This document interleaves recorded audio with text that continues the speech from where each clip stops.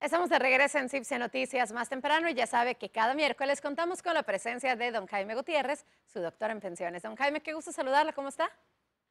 Y también es un placer saludarte y poder dirigirme a toda tu tele y radio audiencia. Muchísimas gracias, don Jaime, por estar aquí. Y hoy tenemos un caso por parte del público que estamos seguros que va a ser de mucha utilidad para muchas personas, ya que se pueden lograr identificar con esto. ¿Le parece, si leo? Adelante, bienvenida a esa, esa pregunta. Bien, aquí dice, ¿cómo le puedo hacer para saber si puedo recoger la pensión de mi esposo? Él falleció en agosto de COVID, pero él tenía 30 años que no vivía conmigo. Tengo cuatro hijos con él, tengo derecho a pedir su pensión.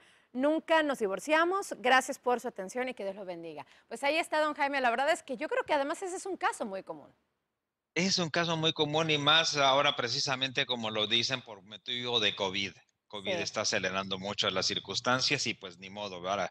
Es la vida y, hay que seguirla, ¿verdad? Claro. Respecto a esta dama que habla, que pregunta si puede tener derecho a la pensión de viudez prácticamente, la respuesta es que sí.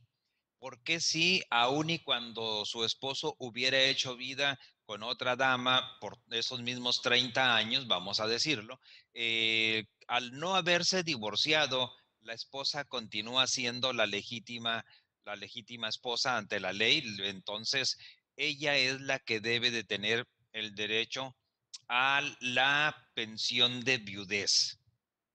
Bien, ahora, don Jaime, usted acaba de tocar un punto muy importante porque dadas las circunstancias de que esta persona pues dejó de vivir con su esposo, al menos en el ámbito legal, sobre todo durante 30 años, y si es el esposo tuvo la oportunidad de vivir con otra persona, ¿esta persona puede reclamar en algún punto? Eh, la segunda persona no. La segunda persona no, porque para poder haber estado en posibilidad de solicitar la persona con quien vivió los últimos 30 años de su vida, tendría que haberse encontrado eh, en un estado de concubinato o casados legalmente, es decir, haber sido disuelto primero el matrimonio anterior, hecho que por lo que vemos no ha sucedido.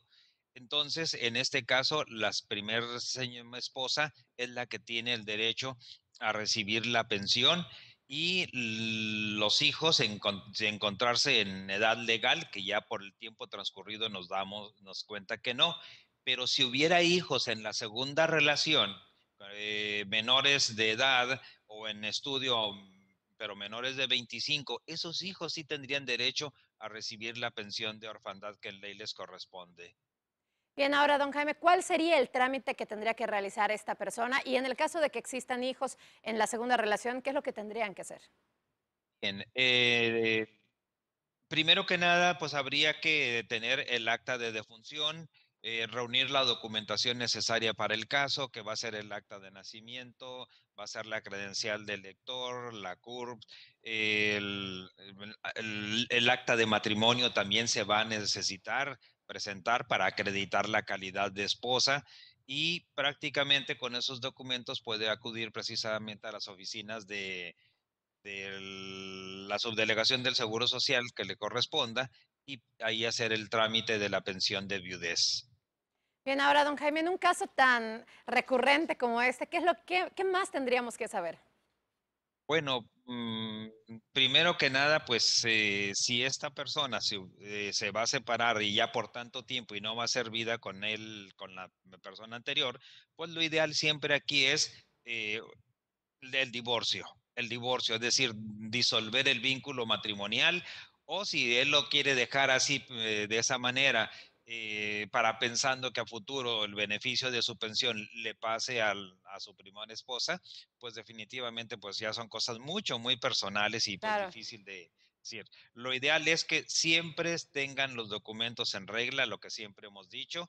Este, si la señora esposa, ella debe de tener el acta de matrimonio porque va a ser una cuestión que necesite presentarlo. Si la hubiera habido el divorcio, la persona que vivió los 30 años con él, pues tendrá que acreditar la relación de concubinato, en fin, y presentar toda la documentación en la subdelegación realmente.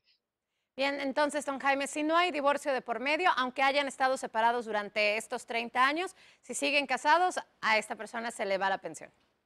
Es correcto, porque ante la ley la primera señora es la esposa legítima y es la que tiene los derechos.